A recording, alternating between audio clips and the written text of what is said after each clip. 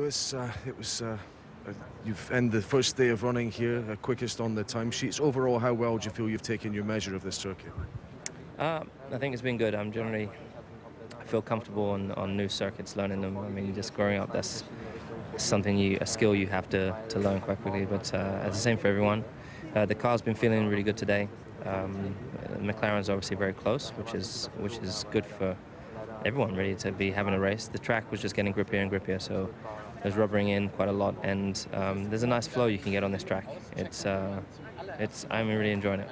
It's funny to see McLaren back up there. I guess you'd expected your old team to challenge you at some point, but it's, it's been a while coming.